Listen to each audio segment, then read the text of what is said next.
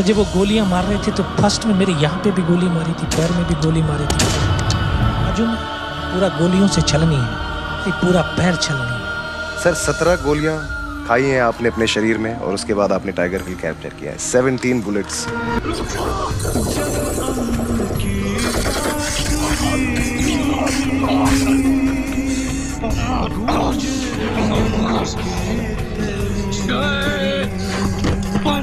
वाले